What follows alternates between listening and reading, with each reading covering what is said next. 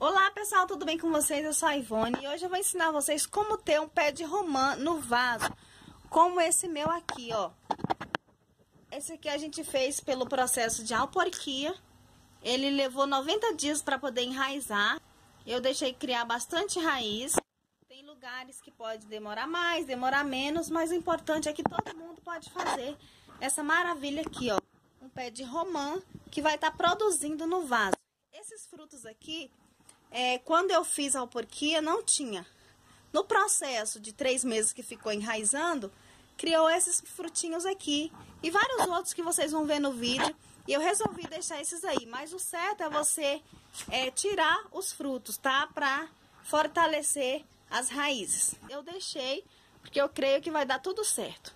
Então, bora lá pro vídeo, pessoal. Passo a passo de como ter um pé de romã no vaso. Então, vamos lá, pessoal. O pé de romã que eu vou usar para fazer a nossa alporquia é este aqui. É um pé de romã aqui do nosso vizinho.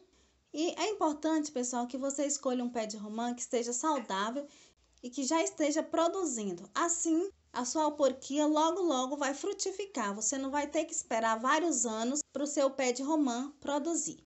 Eu escolhi esse galho aqui, ó. Tô limpando ele. Vou fazer o processo aqui nesse pedacinho aqui. Eu esqueci de mencionar, pessoal, porque eu vou usar metade da garrafa PET, estilete ou faca bem afiada ou qualquer outro material cortante que tiver aí ao seu alcance. Após escolher o galho e limpar como eu limpei, nós vamos fazer dois cortes em volta do galho. A distância entre um corte e outro é de 5 centímetros. Após isso, faça um terceiro corte ligando os dois cortes, este corte lateral.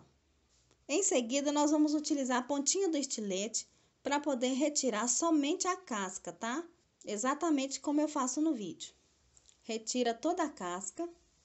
Aqui em cima, pessoal, é onde vai nascer as raízes. Então, é importante que essa parte aqui esteja bem coberta de terra. Agora, nós vamos colocar aqui a garrafa PET. Para isso, eu vou fazer um corte aqui numa dessas partes do pezinho da garrafa. E em seguida, eu vou cortar na lateral também, até chegar no buraquinho que eu fiz aqui embaixo. Exatamente assim. Em seguida, nós vamos fixar a nossa garrafa PET na nossa alporquia, no nosso galho escolhido aí para ser a nossa nova muda. E em seguida, nós vamos passar fita adesiva. Pode passar umas duas ou três voltas de fita adesiva para deixar ela bem fixa. E para ajudar ainda mais, você pode colocar um pedaço de espuma, um pedaço de isopor, um pedaço de plástico. No meu caso aqui, eu vou colocar um pedaço de lona para tampar esse buraquinho que ficou embaixo aqui e ajudar ainda mais a fixar a nossa garrafa PET no nosso galho. Após fixar bem, está pronto para a gente colocar a terra. É importante também você escolher uma terra que já esteja bem adubada, tá? Aqui eu utilizei terra do meu canteiro mesmo, que ela é super adubada, né? Enche bem. Como eu disse antes, vamos cobrir aquela parte de cima onde vai nascer as raízes. Enche bem de terra e em seguida vamos regar.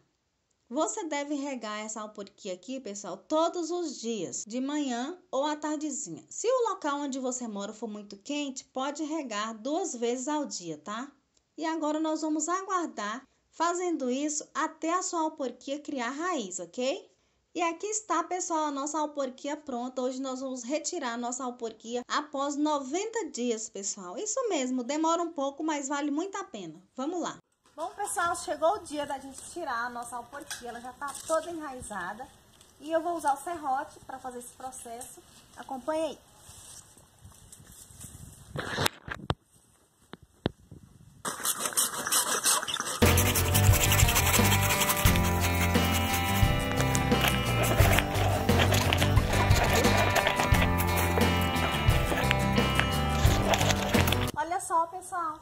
É o tamanho dela. Ela tá até com alguns frutos, ó. Ali tem mais frutos, eu vou ter que podar, fazer uma poda aqui.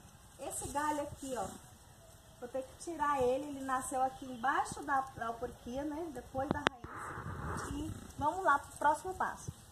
Olha só, pessoal, o tamanhão dela. E agora nós vamos podar, fazer todo o processo aqui que deve ser feito depois que a sua alporquia estiver pronta, tá? Esse galho aqui, pessoal, ele nasceu embaixo da alporquia. Então, nós vamos podar ele, tá? Vamos cortar todos os galinhos, pessoal. Vai dar força para ela fortificar as raízes, que é o que mais importa nesse momento, tá? Tem outras maneiras de fazer? Tem, só que aqui as coisas que eu passo aqui para vocês no nosso canal são as coisas que dão certo comigo. Então eu procuro passar para vocês. Mas se você for pesquisar, for ver outras coisas, tem outras maneiras sim de fazer. Olha, pessoal, aqui tem essas romãs aqui. Eu vou podar elas, não vou ter como deixar elas. Elas já estão abertas. Eu vou deixar só duas romãzinhas é, nessa nossa porquinha aqui pra gente fazer o teste também. Igual eu fiz com o pé de limão, que deu certo, eu deixei. Vai ser, ela vai ter um pouco mais de dificuldade pra fortificar as raízes, mas eu quero deixar. Vou podar essa daqui, ó. Olha só, pessoal, aqui eu não sei se vocês conseguem ver, ó. Tem uma praga aqui, tá vendo? Tá cheio de cochonilhas, ó. E no próximo vídeo eu vou ensinar pra vocês uma receitinha para acabar com as cochonilhas das plantas, tá? Tanto é, nas frutíferas como hortaliças também. Vamos lá, pessoal, agora eu vou abrir a nossa porquinha. Abrir com cuidado para não deixar o torrão esfar. Abrir com cuidado para não deixar o torrão esfarelar. Olha, pessoal, tem algumas formigas aqui, ó. Mas olha só como que tá as raízes aqui, gente. Ó, Acho que não vai ter jeito, ela vai quebrar um pouco o torrão. Mas vamos tirar ela assim mesmo, tá? Vou pegar com cuidado aqui, pessoal, porque a, o torrão deu uma desmanchada. Tem um pedaço aqui ainda, que tá com as raízes. Ó. As raízes. Esse torrão aqui, pessoal, vocês tomam cuidado para não desmanchar. O meu aqui não teve outro jeito, desmanchou, tá? Mas olha só as raízes, ó. Olha o tamanho das raízes. Mas quando vocês forem fazer a de vocês, toma muito cuidado para não, pra não soltar a terra do torrão nas raízes, tá? Cobrir com terra. Eu vou pegar um pouco mais de terra.